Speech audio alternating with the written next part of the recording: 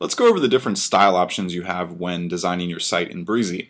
So first off, style dots let you control the design of specific areas on your page, including custom backgrounds, uh, spacing, gradients, drop shadows, rounded corners, and several other different style options.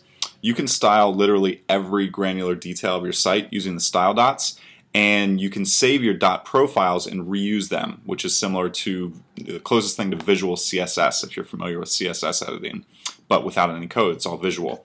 So for example, we can save this dot profile for our button and then apply the same styles for another instance of a button app here in the footer by loading that dot profile. In addition to the style dots, you also have the bulk style editor, which you can click from the shelf here at the bottom. And the bulk style editor lets you apply multiple styles at one time to defined areas on your page.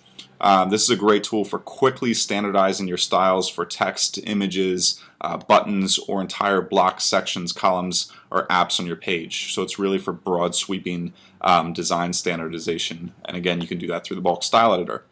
Um, and last but certainly not least, you can also apply skins to your pages. And skins are either full or partial sets of styles that can be applied to your pages without affecting any of your content or layout at all. So it's similar to themes, um, but again, doesn't compromise your uh, content or layout. It's just a layer of styles that get laid over top. So you can preview um, and apply any of our pre-designed skins, and you can also create and save your own custom skins as well.